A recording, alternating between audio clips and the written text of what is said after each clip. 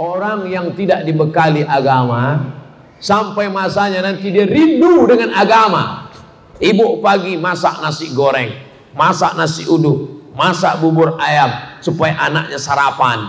Karena takut nanti kalau anak tidak makan, dia akan jajan sembarangan. Tapi kalau anaknya sudah makan, dia kuat. Ada lapar, laparnya bukan di sini, laparnya bukan di lambung, laparnya di lapar intelektual, lapar spiritual. Dia mencari agama. Rumah sudah, mobil sudah, istri sudah, anak sudah. Ada satu yang belum. Apa dia? Agama. Dia haus agama. Dia akan cari agama dan dia menemukan agama-agama palsu, kebohongan-kebohongan, aliran-aliran sesat. Kalau tidak diisi dengan agama, naudzubillah. Alhamdulillah bagi yang ketinggalan agama sekarang bisa cari di internet tapi gurunya mesti jelas kamu belajar ke mana? ke Al-Bahjah Buya Yahya oke kita tahu jelas beliau dari mana? Al-Ahqab University dari Yaman mazhabnya apa? Ash'ari dalam akidah fikihnya apa? Syafi'i tasawufnya apa? Al-Ghazali ada pengajiannya, ada pondoknya jelas ini siapa? ini saya ambil dari Kiai Haji Dr. Khalil Nafis yang di MUI pusat. Oke, okay, tak masalah. Ngapain kamu belajar sama Ustadz Dery Sulaiman? Dia kan bukan ustadz. Beliau tidak pernah cerita fikih halal, haram, makruh, mubah. Tidak.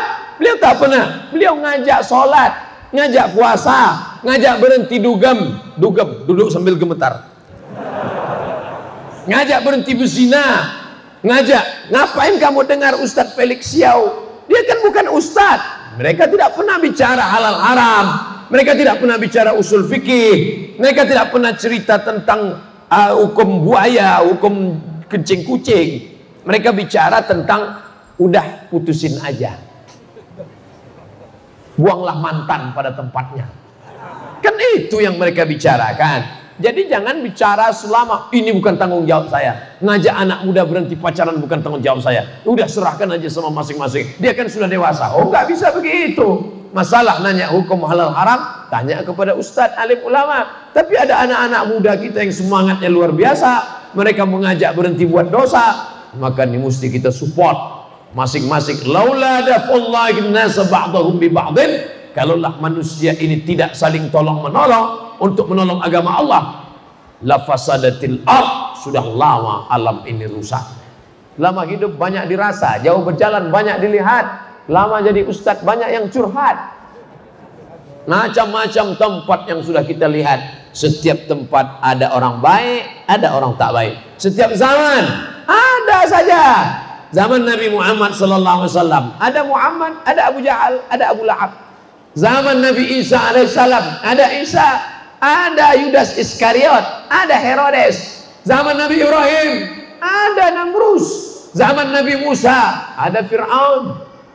Nanti kalau ada orang jahat, ngapain lah ente ngajak-ngajak orang baik? Dunia ini kan panggung sinayara bro.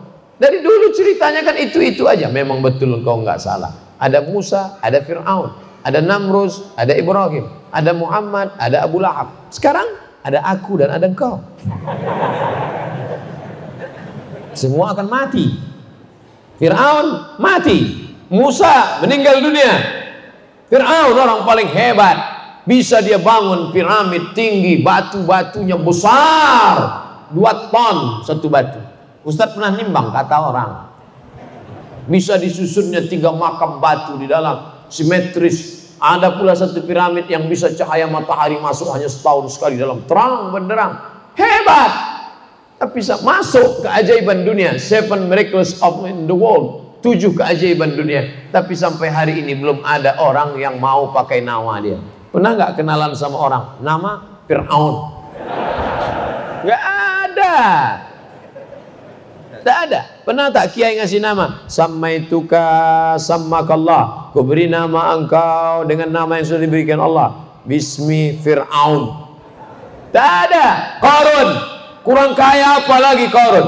Seandainya ada orang gali tanah di Cibubur, gali tanah ketemu periuk emas, lalu dia akan berkata, wow, amazing.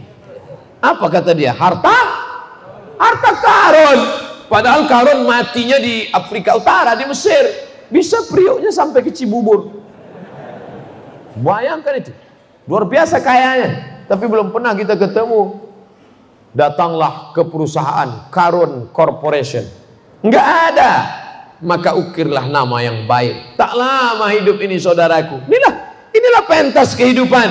Ini tanah, ini tanah, ini pentas kehidupan. Dari dalam tanah, naik ke atas tanah, dan tak lama lagi akan masuk tanah. Warnanya warna tanah, bentuknya seperti tanah, akan menjadi santapan cacing tanah, dicium bau tanah.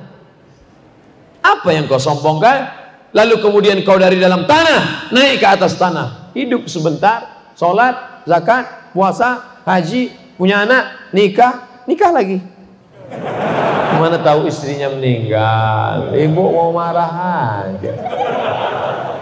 Habis itu mati. Mana yang mau kita bawa? Apa yang akan kita bawa? Inilah. Inilah amal yang akan kita bawa. Berapa banyak kita buat baik ini akan menolong di hadapan Allah taala. Sekecil apa? Famai amal mithqala dzarratin khairan yarah. Sebesar biji sawi akan kau lakukan. Menolong agama Allah akan kau lihat balasannya luar biasa. Jangan pernah berhenti berbuat baik. Jangan pernah berhenti jemu berbuat kebaikan. Kenapa karena itu yang akan menolong di hadapan Allah Subhanahu wa taala